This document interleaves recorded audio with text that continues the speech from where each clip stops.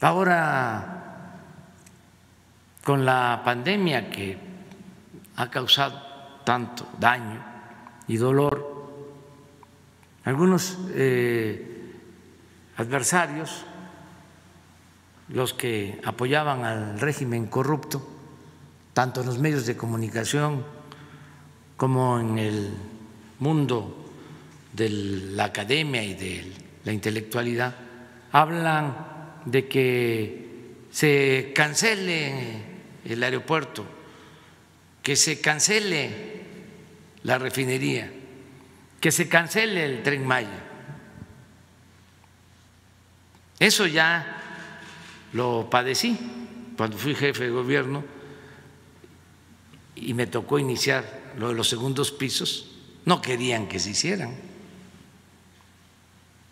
Son tan hipócritas de que después hasta nos copiaron. Nada más que nosotros hicimos los segundos pisos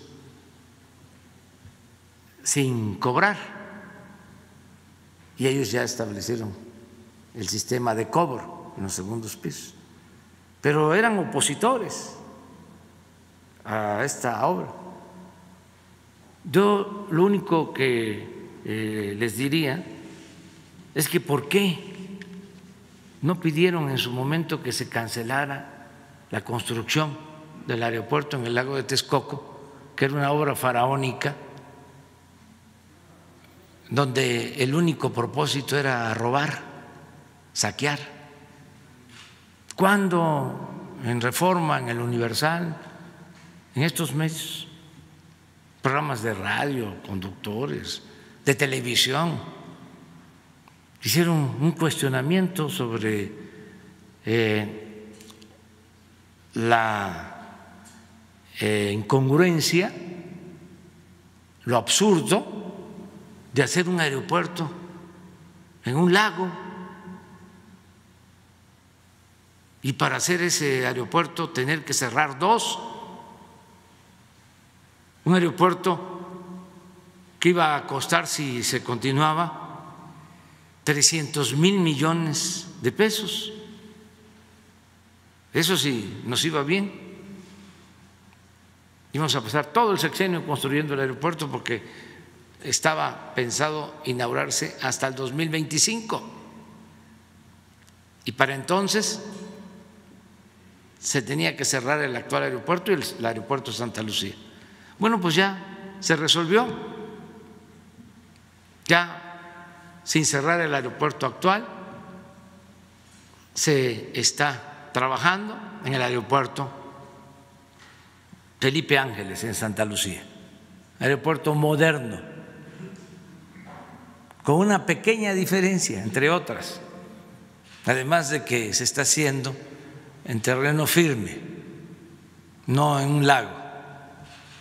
Además de eso, una pequeña diferencia en vez de 300 mil millones, va a costar 75 mil millones de pesos. Nos vamos a ahorrar 225 mil millones de pesos. ¿Qué era lo otro?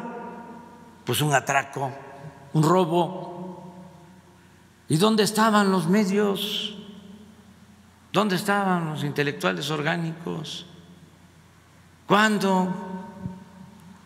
Cuestionaron, nunca. Entonces, es importante que se sepa que nosotros llegamos aquí para transformar. Y por eso, aunque no les guste, vamos a seguir revisando todo el cochinero que dejaron. Vamos a seguir hablando de eso.